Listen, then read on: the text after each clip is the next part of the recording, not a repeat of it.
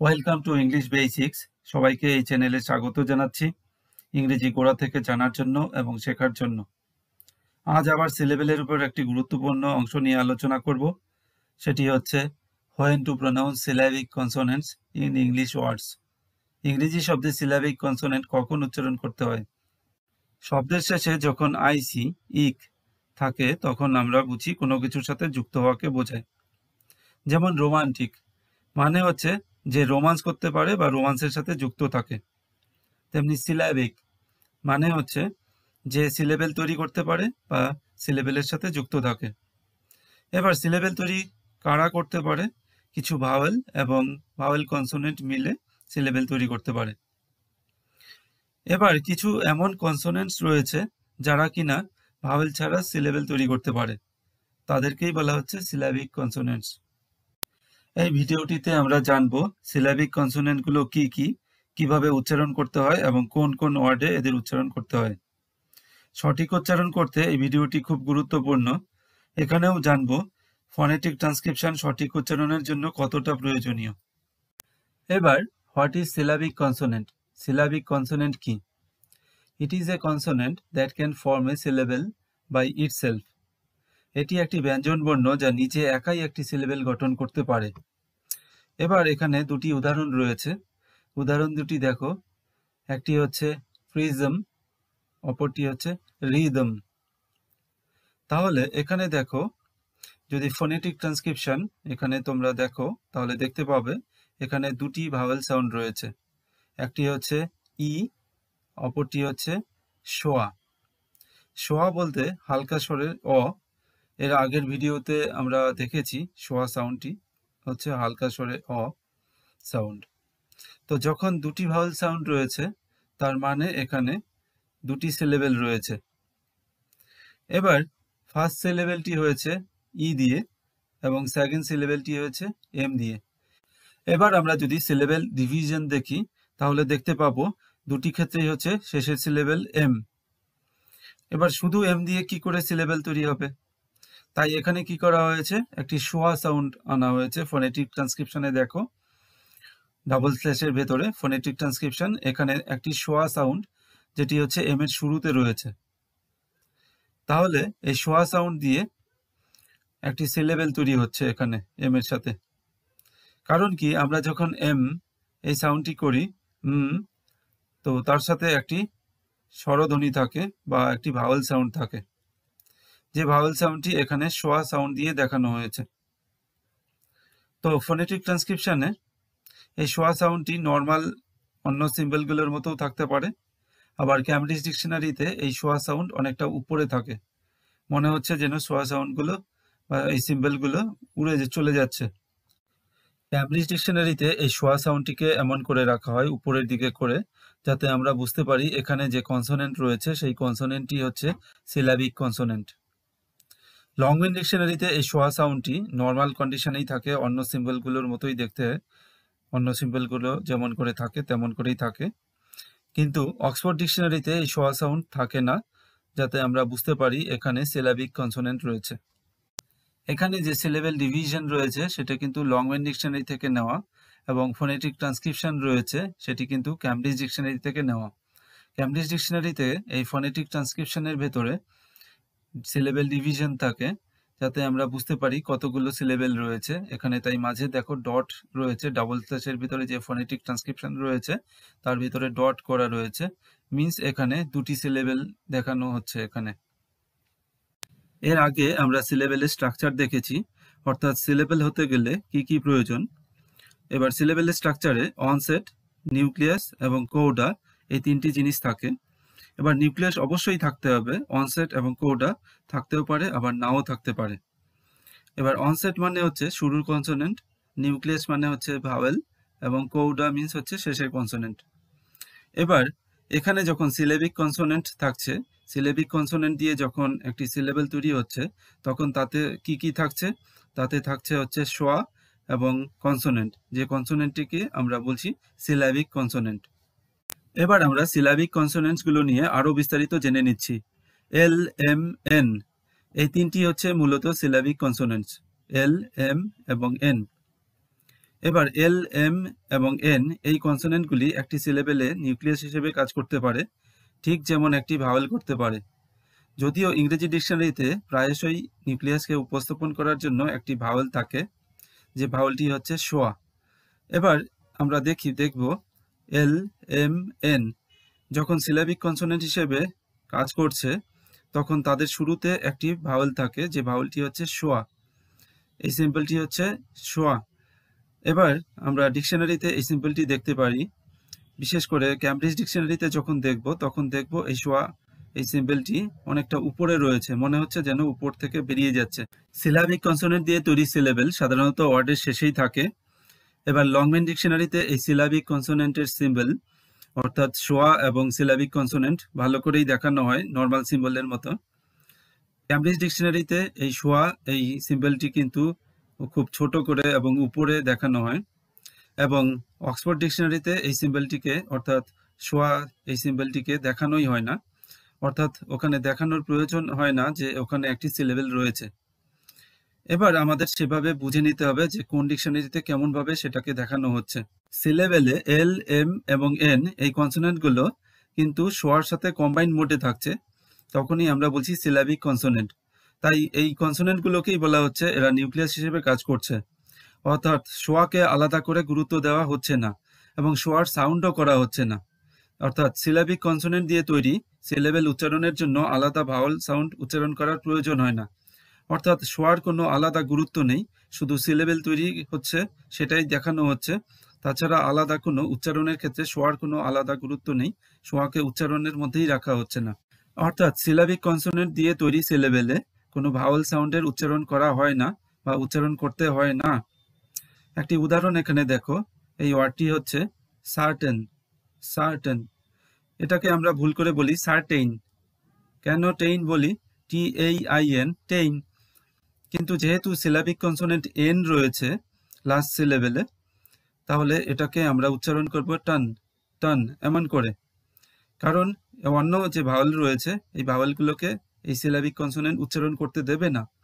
তাই এর উচ্চারণটি হবে সার্টেন সার্টন তাহলে syllabic consonants L M N এরা যখন কোনো একটি সিলেবেলে থাকবে, তখন কিন্তু ভাওয়েল সাউন্ডের উচ্চারণ হবে না। এবার ভাওয়েল সাউন্ড ভাওয়েল টিম দিয়েই হোক, দুটো ভাওয়েল দিয়েই হোক বা একটি ভাওয়েল দিয়েই হোক, কোথাও কিন্তু ভাওয়েল সাউন্ড হবে না। সরাসরি এল এম এন এই সাউন্ডগুলো করতে হবে। Now when to pronounce syllabic consonant L syllabic consonant L কখন উচ্চারণ করব?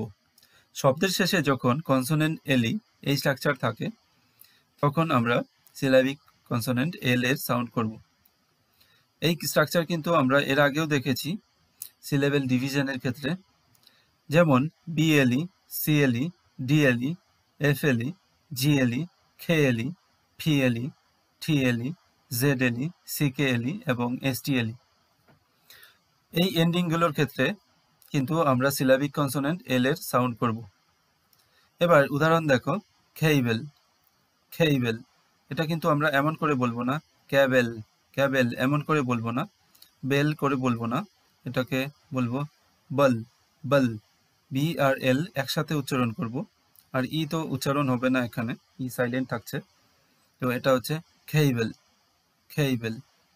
তেমনি জেড এল একসাথে উচ্চারণ করব, পাজল পাজল। এরপর উদাহরণ দেখো, এটা হচ্ছে সিঙ্গেল সিঙ্গেল। এটা সিঙ্গেল এমন করে বলব না, সিঙ্গেল, একসাথে। তারপর হচ্ছে ট্যাকেল আরও কিছু উদাহরণ দেখো। কাসেল কাসেল, এখানে টি সাইলেন্ট থাকছে। হুইসেল, এখানেও টি সাইলেন্ট থাকছে। তাহলে এভাবে আমরা সিলাবিক কনসোনেন্ট এল এর উচ্চারণ করব। সিলাবিক কনসোনেন্টের আরেকটি উচ্চারণের ক্ষেত্র হচ্ছে, অনেক ক্ষেত্রে consonant plus vowel plus L এই স্ট্রাকচারে আমরা সিলাবিক কনসোনেন্ট এল এর উচ্চারণ করে থাকি। এবার ভাওয়েল বলতে এখানে সিঙ্গেল ভাওয়েল হতে পারে সাধারণত এই এবং ই, এই ভাওয়েলগুলোর ক্ষেত্রেই বেশি সিলাবিক কনসোনেন্ট উচ্চারণ হয়ে থাকে এবং আই এবং ও এদের ক্ষেত্রে কিন্তু অনেক কম উচ্চারণ হয়ে থাকে। অর্থাৎ এই ভাওয়েলগুলোর ক্ষেত্রে অনেক কম উচ্চারণ হয় যখন এই স্ট্রাকচার থাকে। এবার দেখো কিছু উদাহরণ। জ্যাকেল জ্যাকেল তো এখানেও কিন্তু একসাথে কে আর এল উচ্চারণ হচ্ছে। জ্যাকেল তেমনি নিকেল নিকেল। তো এই ওয়ার্ড দুটিকে এখানে রাখা হয়েছে কারণ এই ওয়ার্ড দুটো হচ্ছে একটু আলাদা রকম। এদের স্পেলিং এমন যে আমরা অনেক সময় এদের মিসপেলিং করে থাকি। এরপর হচ্ছে মেন্টাল মেন্টাল মডেল মডেল। এরপর লোকাল লোকাল। তো ক আর ল একসাথে উচ্চারণ করব, আমরা কিন্তু এমন বলব না। লোকাল লোকাল এমন করে বলব না। এটাকে বলব লোকাল লোকাল তারপর হচ্ছে পিস্তল পিস্তল একসাথে উচ্চারণ করব, ট আর ল। তারপর হচ্ছে পেন্সিল পেন্সিল তো এখানে আমরা এমন করে বলব না পেন্সিল পেন্সিল এমন করে বলব না। স আর ল একসাথে উচ্চারণ করব পেন্সিল লাস্ট যে ওয়ার্ডটি রয়েছে, এই ওয়ার্ডটিকে আমরা এমন করে উচ্চারণ করব, ল্যান্টেল ল্যান্টেল। এটা কিন্তু আমরা এমন করে বলব না, ল্যান্টিল ল্যান্টিল এমন করে বলব না, ল্যান্টেল এমন করে বলব, ট আর ল একসাথে। সিলাবিক কনসোনেন্টের আরেকটি উচ্চারণের ক্ষেত্র হচ্ছে, ওয়ার্ডের শেষে যখন টিআইএল সিআইএল থাকে। এবার এখানে কি হচ্ছে টি এবং সি এর পর ডাবল ভাওয়েল থাকছে, তারপর এল থাকছে। অ্যাকচুয়ালি এর উচ্চারণ হচ্ছে শল শল।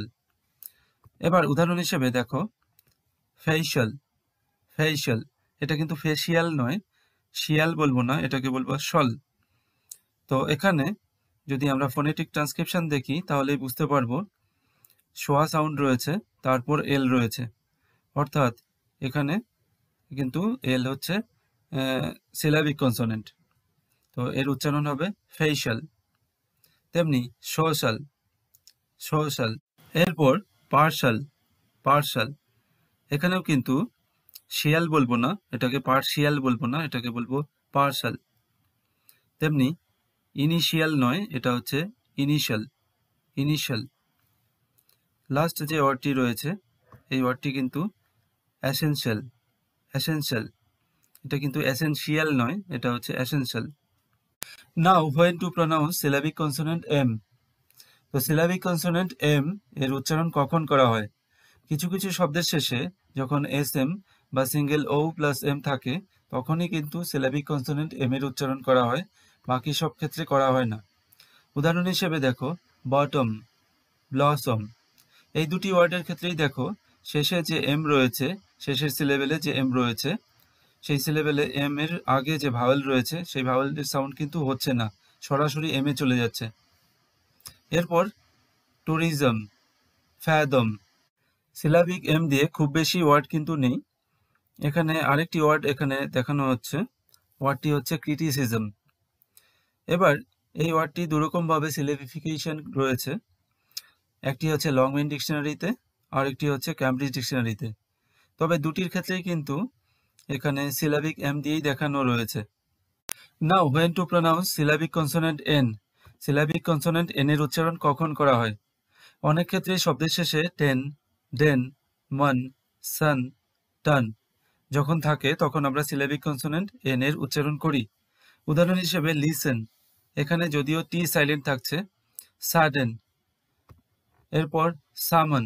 এখানে এল সাইলেন্ট থাকছে সিজন তো সবগুলোর ক্ষেত্রেই কিন্তু সরাসরি এন এর সাউন্ড হচ্ছে। এর আগে যে ভাওয়েল সাউন্ড সেই ভাওয়েল সাউন্ড কিন্তু হচ্ছে না। লেসন এখানেও কিন্তু তাই। কটন কটন সিলাবিক এন এর পরবর্তী উচ্চারণ ক্ষেত্র হচ্ছে যখন শব্দের শেষে টিআইওএন এসআইওএন সিআইওএন এই প্রভৃতি উচ্চারণগুলো থাকে। এদের উচ্চারণগুলো কিন্তু শন জন চন এই উচ্চারণগুলো হয়। অর্থাৎ এখানে যে টি এস এবং সি এদের পর ডাবল ভাওয়াল থাকছে, তারপর এন থাকছে এবং এদের উচ্চারণ হচ্ছে শন, জন, চন। তখন আমরা এনকে সিলাবিক কনসোনেন্ট হিসেবে উচ্চারণ করি। উদাহরণ হিসেবে motion motion vision musician musician এটা কিন্তু মিউজিশিয়ান নয় এটা হচ্ছে মিউজিশিয়ান কোয়েশ্চেন কোয়েশ্চেন এটা কিন্তু কোয়েশ্চেন নয়, এটা হচ্ছে কোয়েশ্চেন মার্শন এটা কিন্তু মার্শিয়ান নয়, এটা হচ্ছে মার্শন শন জন এবং চন এই সাউন্ডগুলো ছাড়া শুধু কিছু বিশেষ ক্ষেত্রে ডাবল ভাওয়েলের পর এন থাকলে এই সিলাবিক কনসোনেন্ট এন এর সাউন্ড হয়। উদাহরণ হিসেবে সার্টেন এখানে কিন্তু ডাবল ভাওয়েল রয়েছে, কিন্তু এই ডাবল ভাওয়েলের কোনো সাউন্ড আসছে না। তো এখানে লাস্ট সিলেবেলে টি এর পর সরাসরি এনে চলে যাচ্ছে সার্টেন মাউন্টেন এখানেও তাই। এখানে যে লাস্ট সিলেবেলটি রয়েছে টি এর পর ডাবল ভাওয়েল রয়েছে, তারপর এন আছে, কিন্তু ডাবল ভাওয়েলের সাউন্ড হচ্ছে না। হচ্ছে মাউন্টেন ফাউন্টেন এখানেও তাই। সিলাবিক কনসোনেন্ট দিয়ে আরও নতুন নতুন ওয়ার্ড তোমরা দেখবে প্র্যাকটিস করবে। Thanks for watching by